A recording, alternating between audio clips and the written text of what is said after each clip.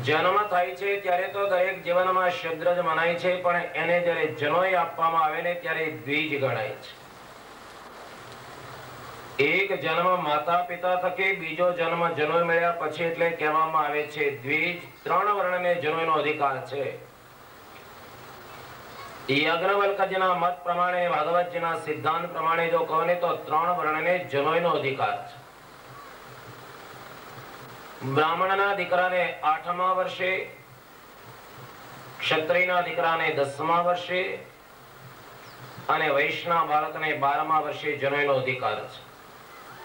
બ્રાહ્મણો જનોય ધારણ કરી શકે એવો કોઈ નિયમ નથી, પણ ઋષિઓના મત પ્રમાણે અને ભાગવતજીના સિદ્ધાંત પ્રમાણે કહો તો ત્રણ વર્ણને જનોયનો અધિકાર છે. આજે કદાચ આપણને એમ થાય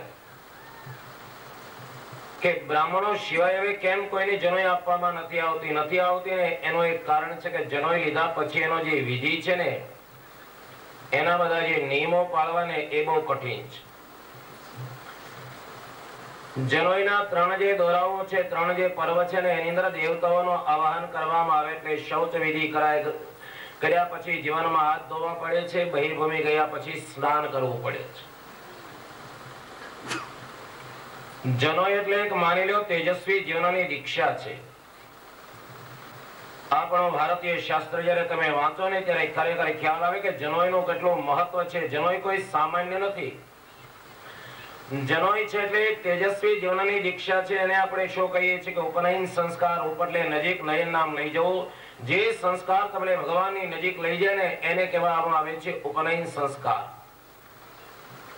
જન્મના જાયતે શુદ્ર સંસ્કારાદિજ્યતે જનોય મળ્યા પછી એને કહેવામાં આવે છે દ્વિજ.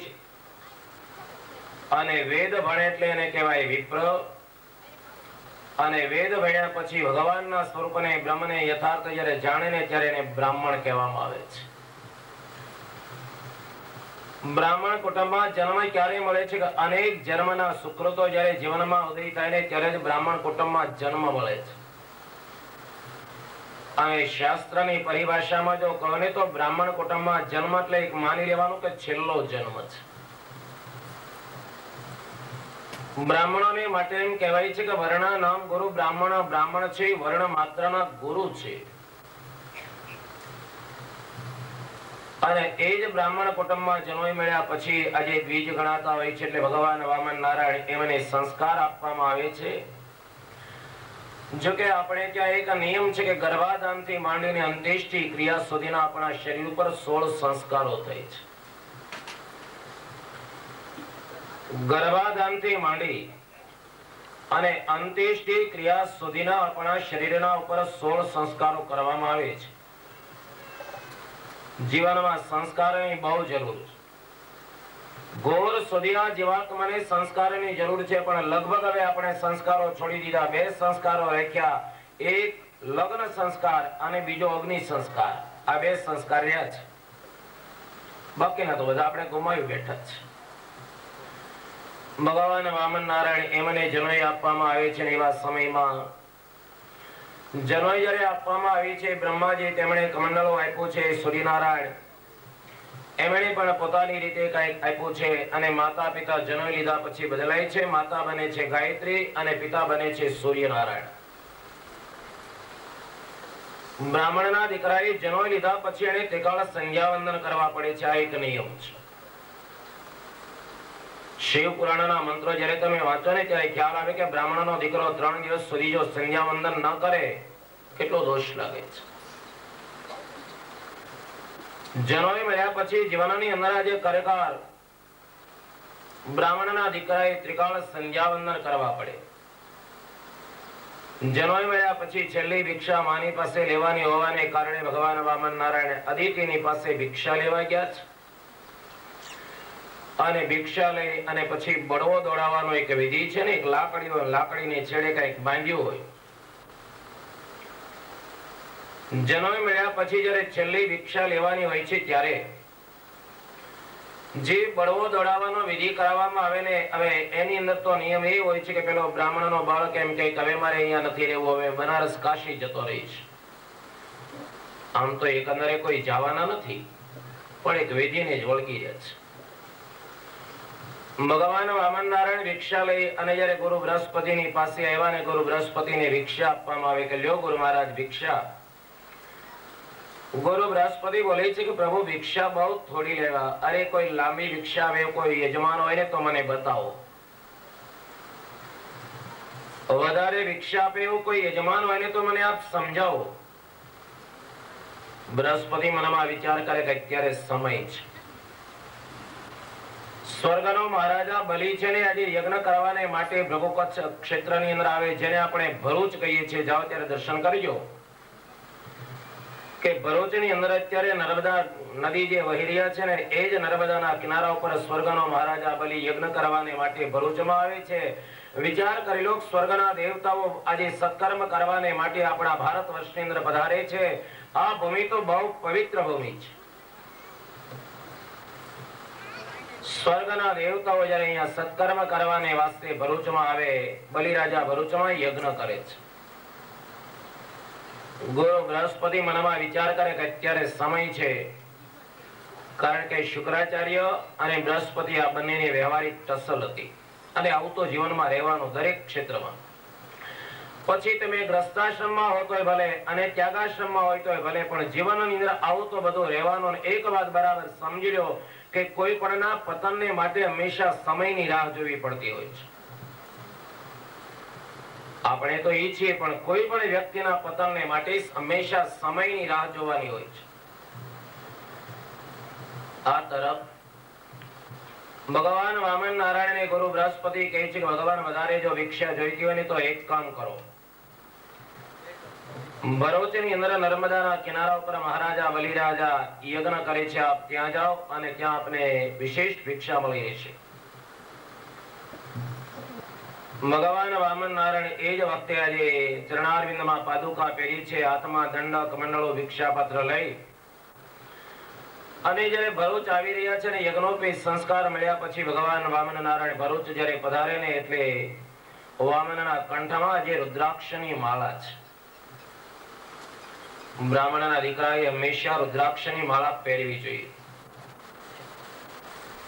તમે ગમે તે સંપ્રદાયને માનો, એની સામે મારો કોઈ આગ્રહ નથી. ગમે કથા હોય, પછી શહેરની કથા હોય તો ભલે, ગામડાની પારાયણ હોય તો ભલે.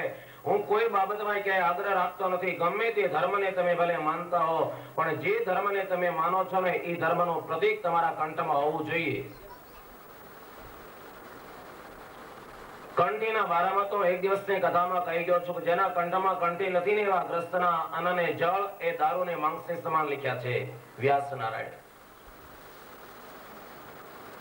યસ્ય નાસ્તિ શિશોકંઠે તુલસી માલિકા ભવે તસ્યાન્નમ માંસ સદૃશમ જલમ સમધિરા સમમ ભગવાન વેદવ્યાસ તેમણે પોતાના સાહિત્યની અંદર ત્યાં સુધી વાત લખી છે પદ્મ પુરાણના સૃષ્ટિ ખંડના પંદરમા અધ્યાયમાં આ વાત લાવ્યા છે કે જેમના કંઠની અંદર કંઠી નથી ને એવી રીતના ગ્રસ્તના અન્નને જળ દારૂ ને માંસની સમાન બતાવ્યા છે કંઠી છે, ભગવાનના ચરણાર બિંદનું એક પ્રતીક છે. અને આ દેશની અંદર કંઠીનું કેટલું મહત્વ છે કદાચ ને બેઠેલા વૈષ્ણવો જાણતા હશે કે ભગવાનની શરણાગતિનો સ્વીકાર કર્યા પછી જ્યાં સુધી તમે કંઠી ધારણ ન કરો ને ત્યાં સુધી માની લેજો તમારી શરણાગતિ અપૂર્ણ છે, અધૂરી છે. કોઈ પણ ધર્મની અંદર જ્યારે તમે દાખલ થાવ છો, પછી સ્વામિનારાયણ સંપ્રદાય હોય તો ભલે વૈષ્ણવ સંપ્રદાય હોય તો ભલે, અને રામાનંદી સંપ્રદાય હોય તો ભલે, પણ કોઈ પણ સંપ્રદાયની અંદર દાખલ થયા પછી જો તમારા કંઠમાં કંઠી નથી ને, તો માની લેવાનો ખરેખર ત્યાં સુધી તમારી શરણાગતિ અપૂર્ણ છે, અધૂરી છે. ભગવાન વામન નારાયણ. એમના કંઠની અંદર જે કંઠી છે, લલાટની અંદર જે ભગવાન વામન ત્રેમણે ત્રિપુંડ કહ્યું છે. બ્રાહ્મણના દીકરાએ લલાટમાં ત્રિકુંડ કરવું પડે ભાઈ. લલાટની અંદર બ્રાહ્મણોએ ત્રિકુંડ કરવાનું ત્રિકુંડ છે ને એ ઓમકારનું પ્રતીક છે. ત્રિપુંડની ત્રણ રેખા છે. એ ખરેખર ત્રણ અગ્નિનું સ્વરૂપ છે. આપણે ગમે તે સ્વરૂપને માનતા હોઈએ પણ આપણા લલાટની અંદર આજે ભગવાન સંબંધી, ધર્મ સંબંધી ચિહ્ન તો હોવું જોઈએ. બ્રાહ્મણ હોય તો એમણે ત્રિપુંડ કરવાનું, વૈષ્ણવ હોય તો વૈષ્ણવ સંપ્રદાયનો તિલક કરવાનું, સ્વામિનારાયણ સંપ્રદાયને જો તમે માનતા હો, તો તિલક અને ચાંદલો કરવાના. કારણ કે આપણે જે તિલક કરીએ છીએ ને, એ તિલકની જે બંને દંડે, બંને ઊભી જે દંડાકાર રેખા છે ને, એ ભગવાનના ચરણારવિંદનું પ્રતીક છે. અને લલાટમાં જે કુમકુમનો ચાંદલો કરીએ ને લક્ષ્મીજી લક્ષ્મીજીનું પ્રતીક છે. ગળાને તિલક અને ચાંદલો કરતા શરમ આવે, વિચાર કરો, તમારા લાઇટિંગ ગમે એટલા સુંદર હોય, સરસ મજાની તમે ટપાલ લખી ટપાલ લખી સંપોટ કરી કવરમાં મેળવી દો કવરના ઉપર એડ્રેસ ના કરો તો એ ટપાલ ક્યાં જાય? કચરા પેટીમાં જાય. ગમે એટલી સરસ મજાની તમે ટપાલ લખીને ટપાલ લખ્યા પછી જો તમે એડ્રેસ ના કરો, ટપાલ ક્યાં? કચરા પેટીમાં જાય. એમ તમે ગમે તે ધર્મને માનતા હો, પણ એ ધર્મનું જે ચિહ્ન છે, પ્રતીક છે ને, તમારા લલાટ ઉપર હોવું જરૂરી છે અને આપણું સારું એ પ્રારબ્ધ ક્યાં લખાયેલું છે? પછી જો તમારા જીવનમાં તિલક અને ચાંદલો કરતા તમને શરમ આવતી હોય તો માનવાનું મારા જીવનની અંદર ભક્તિનો એક કલંક છે. શરમ શા માટે? હા, ખોટા કામ કરતા માણસે શરમ આવવું જોઈએ. કંઠીને તિલક એ તો એક સંપ્રદાયના ચિહ્નો છે. ધાર્મિકતાના ચિહ્નો છે. ભગવાન વામન નારાયણ એ અહીંયા ચાલ્યા જાય છે. ચરણારવિંદમાં પાદુકા છે. લલાટની અંદર આજે ત્રિપુંડ છે. વામન નારાયણ ધીમે ધીમે ચાલતા ચાલતા જાય અહીંયા ભરૂચમાં આવે ને ત્યારે ભરૂચની અંદર સામે યજ્ઞ ચાલી રહ્યો છે. બધા ભગવંશી બ્રાહ્મણો બોલવા લાગ્યા, ઓ, શોક સનકાદી કે આમાંનું કોણ આવે છે? આ સૂર્ય છે કે ચંદ્ર છે? ભગવાન વામન નારાયણના દર્શન કરતાની સાથે જ્યારે ભૃગવંશી બ્રાહ્મણો વિચાર કરવા લાગ્યા, ત્યાં તો ભગવાન વામન નારાયણ યજ્ઞ મંડપમાં પધાર્યા છે. અને માનવને જો માન મળતું હોય ને તો પાંચ પ્રકારે માન મળે છે. માનની તમારા જીવનમાં ક્યારેય ભીખ નહીં માગતા વિવેકાનંદ સ્વામીએ લખ્યું છે પોતાના સાહિત્યમાં. કે તમારા જીવનની અંદર કોઈ દિવસ માનની ભીખ નહીં માગતા, માન મળે ને એવા તમે રૂડા કાર્ય કરો એટલે સામેથી લોકો તમને માન આપે અને માનની દ્રષ્ટિથી જોવે માનની ભીખ માગવાની કોઈ જરૂર નથી. માણસને માન જો મળતું હોય ને તો પાંચ પ્રકારે માન મળે છે. વિદ્યા વપુષા વાચા વસ્ત્રેણ વિભવેન ચ અવતાર પંચભી એતૈનર પ્રાપ્નોતિ ગૌરવા વિદ્વાનોને જે માન મળે છે ને એ વિદ્યાને લઈને માન મળે છે. રાજા તો એ પોતાના દેશમાં પૂજાય, પણ વિદ્વાન માણસ ગમે ત્યાં જાય ને, બધી પૂજાય. સ્વદેશે પૂજ્યતે, રાજા વિદ્વાન સર્વત્ર પૂજ્યતે. રાજા એકમાત્ર પોતાના દેશમાં પૂજાય, પણ વિદ્વાન માણસ ગમે ત્યાં જાય ને, વિદ્વાન માણસની દરેક જગ્યાએ પૂજા થાય છે. અને એ તો એક નિયમ છે કે દરેકના દિલમાં તમે સ્થાન ક્યારે મેળવી શકો છો કે ગુણને લઈને. શાસ્ત્રનો એક નિયમ છે કે ગુણા કુરવતી દોતત્વમ દુરેપી વસતામ સદામ કેતકે ગંધમાદાય સ્વયં ગચ્છતિ ષટપદા. ભમરાઓ. કેતકી છે ને ભમરાને બોલાવવા માટે નથી જતી, પણ આજે કેતકીમાં સુગંધરૂપી ગુણ હોવાને કારણે ભમરાઓ આપોઆપ કેતકીની પાસે ખેંચાઈને આવે છે. એમ ગુણવાન માણસને ક્યાંય જવું નથી પડતું. ગુણવાન માણસને ક્યાંય રખડવું નથી પડતું, પણ ગુણવાન માણસની પાસે લોકો આપોઆપ ખેંચાઈને એની પાસે આવે છે. અને એ તો તમારા ગ્રસ્તાશ્રમનો એક નિયમ છે ને, કે બાપ દાદાની મિલકતનો જ્યારે ભાગ પડે ને ત્યારે એમાં બધી વસ્તુ વેચાય. પણ તમારા જીવનમાં જે કાંઈ તમે જ્ઞાન મેળવ્યું હોય, ભણ્યા હોય ને, એ વિદ્યા ન વેચાય. અને એક નિયમ છે કે પૈસો જેમ વાપરો એમ ઘટે અને વિદ્યા જેમ વાપરો એમ વધે, આ એક નિયમ છે. વ્યયે કૃતે એવ નિત્યમ વિદ્યા ધનમ સર્વધનમ પ્રધાન. પૈસાને જેમ તમે વાપરો ને એમ ઘટે છે અને વિદ્યાને જેમ તમે વાપરો ને એમ વધે છે તો માણસને માન પાંચ પ્રકારે મળતું હોય છે. વિદ્યા, વપુષા, વાચા, વસ્ત્રેણ વિભવેન ચ. વિદ્વાનોને જે માન મળે છે ને ખરેખર વિદ્યાને લઈને માન મળે છે અને કેટલાને વાણી એવી ભગવાનને આપી હોય ને કે એની વાણી સાંભળતાની સાથે આપણને એને માન આપવાનું મન થાય. વાણી છે ને માણસના જીવનમાં એક મહત્વનો ગુણ છે. વાણી તમારા જીવનમાં તમે એવી બોલો, સંસ્કૃતની અંદર દેહલી દીપ ન્યાય આવે છે. કે નાનો ભાઈ એટલે એના ધર્મપત્ની એમ કહે છે કે બાળકોને ચાર ચાર દડાથી ભોજન નથી મળ્યું. પેલો નાનો ભાઈ પત્નીને સમજાવતા કઈ તારી વાત બરાબર, પણ આઠ દાડાથી વૃષ્ટિ ચાલુ છે. કઈ રીતે લાકડા કાપવા જવા? વિચાર કરી જ્યાં સુધી કાષ્ટ કાપીને ન લાવીએ, ત્યાં સુધી બાળ બચ્ચાને રોટલા મળે એમ નથી. બંને માણસ ચિંતા કરે છે. અને એટલે તો હું વારંવાર કથામાં કહું છું કે જેણે જીવનમાં ગરીબીનો અનુભવ કર્યો, એ વ્યક્તિને ખ્યાલ આવે જીવનમાં ગરીબી શું છે. દુઃખ જેણે જીવનમાં સહન કર્યું હોય, દુઃખ જેણે ભોગ્યું હોય ને, એ વ્યક્તિને ખ્યાલ આવે કે જીવનમાં દુઃખ શું છે? દુઃખ જેણે અનુભવ્યું નથી, વ્યક્તિને ખ્યાલ ન આવે કે જીવનમાં દુઃખ શું છે? અને એટલે તો લખ્યું છે કે લક્ષ્મીવંતો ન જાનંતી પ્રાયણ પર વેદનામ. શ્રીમંતોને ખ્યાલ ન હોય કે આજે ગરીબોની કઈ દશા છે? નાના ભાઈને એમના ધર્મપત્ની બોલે કે તમને જો મારું મનાય તો એક ઉપાય બતાવો. બોલે, શું ઉપાય? તો કે, આપણે જ્યાં રહીએ છીએ ને બાજુમાં, ગલીમાં હનુમાનજી મહારાજની પ્રતિમા છે કાષ્ટની. રાત્રિના બાર વાગે જઈએ કુવાડો લઈને. અને કાષ્ટની હનુમાનજી મહારાજની જે પ્રતિમા છે ને, એના ટુકડા કરી નાખીએ ટુકડા કરી નાખીએ એટલે તમે જઈ અને પછી ટુકડાને વેચ્યા હો એટલે બાળ બચ્ચા રોટલા ભેગા થાય. આવું જયારે કરવામાં આવે ને, આવું જયારે વિચારવામાં આવે ને, ત્યારે બંને માણસ બોલે, કાંઈ વાંધો નહીં, રાત્રિના બાર કલાકે બંને માણસ હાથમાં કુવાડો લઈને ઉપડ્યા છે. ભાઈ, આ તો દૃષ્ટાંત છે પાછા પ્રયોગ નહીં કરતા. બંને માણસ હાથમાં રાત્રિના બાર કલાકે કુવાડો લઈને ઉપડ્યા અને બાજુમાં ગલીમાં હનુમાનજી મહારાજની કાષ્ટની પ્રતિમા છે, ત્યાં જઈ અને હનુમાનજી મહારાજની મૂર્તિ પર જ્યાં અહીંયા ઘા કરવા જાય, કુવાડોનો ત્યાં વગર ભક્તિ હનુમાનજી મહારાજે દર્શન દીધા. હનુમાનજી મહારાજ દર્શન આપીને પેલા ખેડૂતને એમ કહે છે કે કંઈક વાઘ બનો તો કે છોકરાઓને આઠ દાડાથી રોટલા નથી મળ્યા. હનુમાનજી બોલે, કોણ શું કરું? તારું પ્રારબ્ધ. તો કે મહારાજ, તમારી જે કાષ્ટની પ્રતિમા છે ને, એના ટુકડા કરી શહેરમાં જઈને જયારે વેચો ને, ત્યારે બાળ બચ્ચાઓ રોટલા ભેગા થશે. હનુમાનજી બોલે કાયમી કેટલું અનાજ જોઈએ? પેલો બોલે પાંચસેર જુવારો એટલે કામ પૂરું.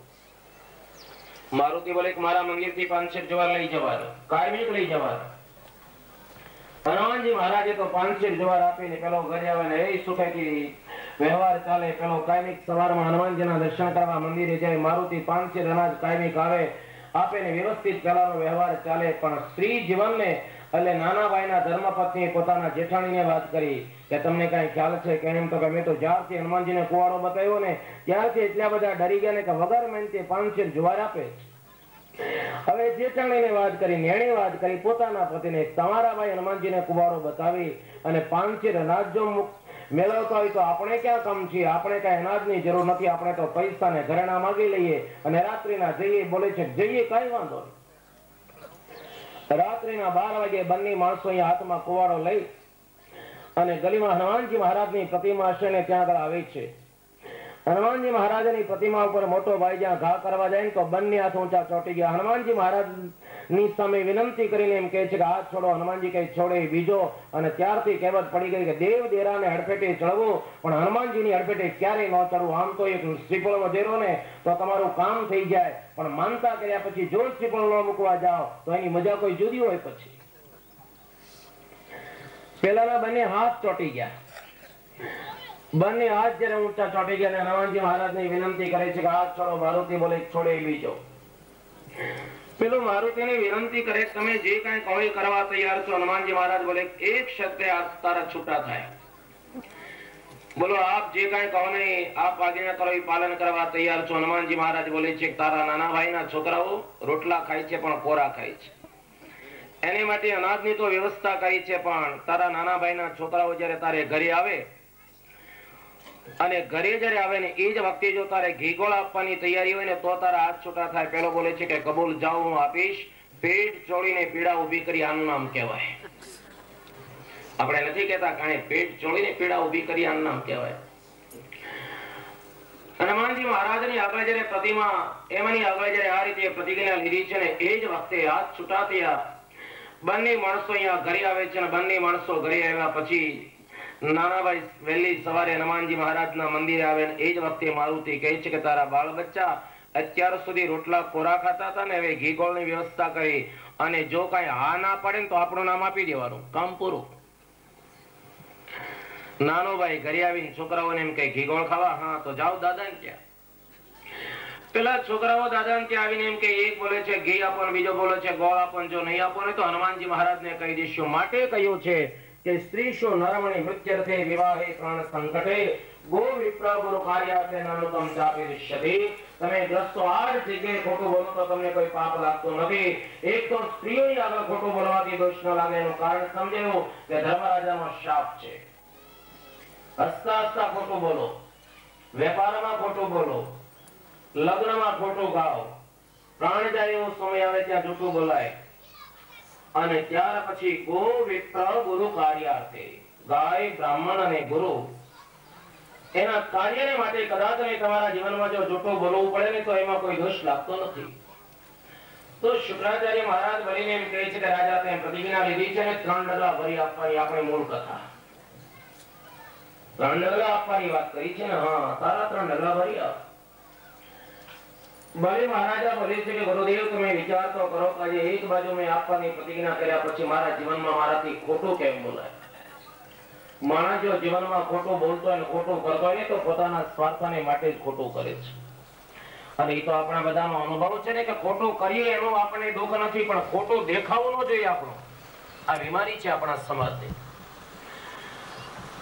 આ બાજુ બલિરાજા ભગવાન વામન એક બાજુ ઊભા છે અને શુક્રાચાર્યને સમજાવતા બોલે છે કે શિબે ને દધીચી એમણે જો શરીરોના બલિદાનો આપીને પરોપકાર કર્યો હોય ને તો ધરતી ને ધન એને તો પૃથ્વી ખાઈ જાય છે, યશને ખાઈ શકતી નથી.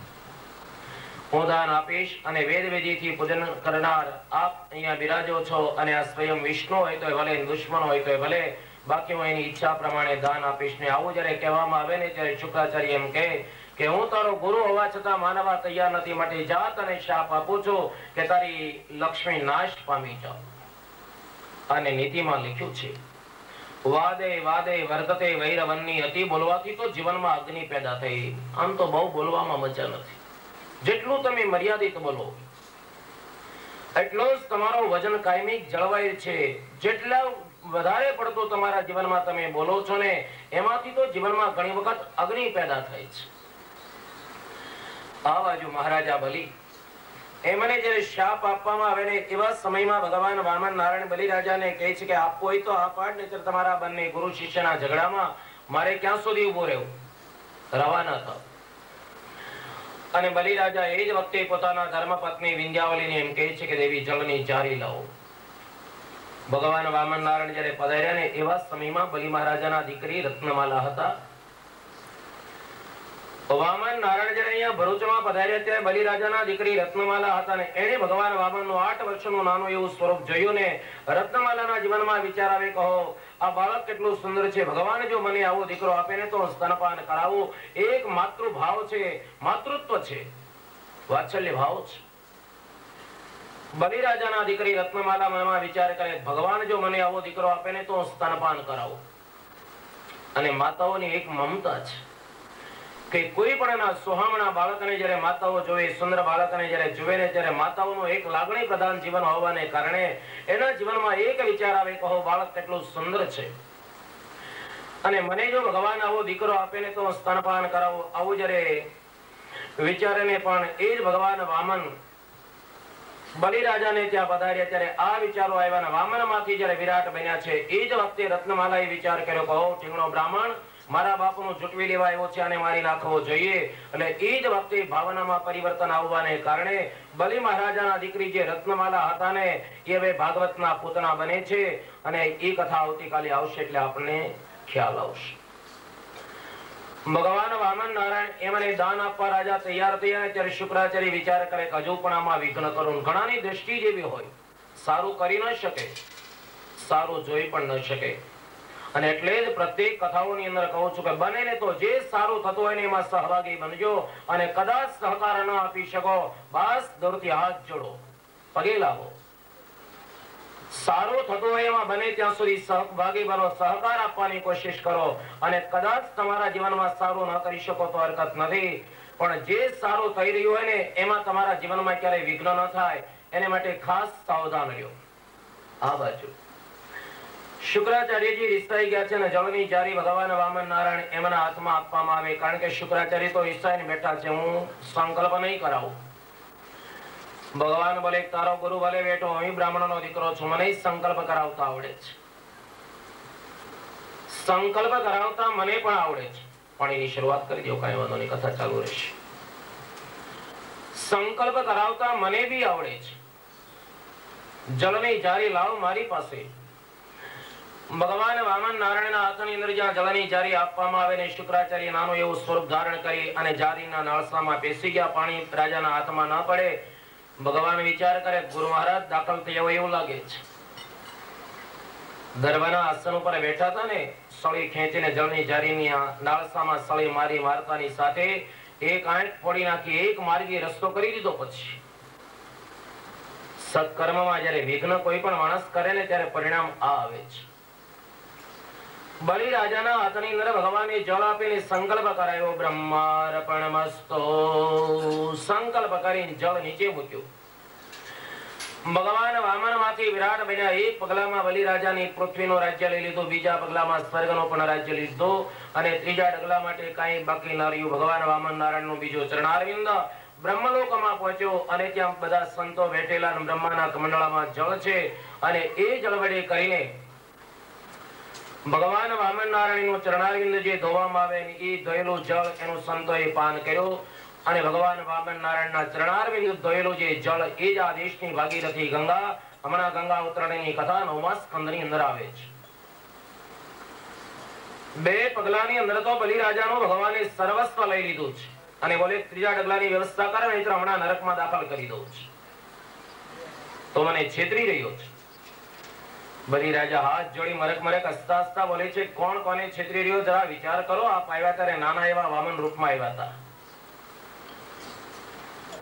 જ્યારે આપ આવ્યા ને ત્યારે તો નાના એવા વામન રૂપની અંદર આવ્યા છો અને પછી આપ વિરાટ બન્યા છો. કોણ કોને છેતરે છે, એનો જરા વિચાર કરો છતાં જો તમને એમ લાગતું હોય તો મારું શરીર બાકી છે.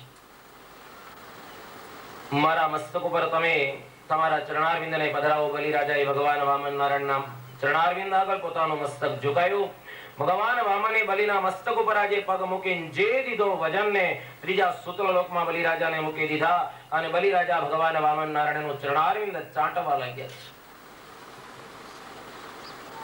બલિરાજા ભગવાન વામન નારાયણનું ચરણારવિંદ જ્યારે ચાટવા લાગ્યા અને ભગવાન વામનના નેત્રમાં આંસુ આવી ગયા અને બલિના મસ્તક ઉપર હાથ મૂકીને એમ કહે છે કે, રાજવી, જે કઈ તારી ઈચ્છા હોય માગી લે, મેં તને સુતળનો રાજ્ય આપ્યું. અને તારી આજ્ઞાનું ઉલ્લંઘન કરનારને મારું સુદર્શન ચક્ર નાશ કરશે. પણ તારી ઈચ્છા હોય માગ. આ કથાથી મારે એ કહેવું છે કે ભગવાન પાસે તમારો માગવાનો અધિકાર ક્યારે છે? જે સિદ્ધાંત સત્સંગી જીવનના બીજા પ્રકરણનો, એ સિદ્ધાંત ભાગવતજીનો છે કે પહેલા તો તમારી પાસે જે કાંઈ છે, એ ભગવાનને સમર્પણ કરો અને સમર્પણ કર્યા પછી સર્વેશ્વરની પાસે તમારો માગવાનો હક છે, અધિકાર છે. બળીને ભગવાન સમજાવતા એમ કહે છે કે, રાજવી આપની ઈચ્છા હોય માગો.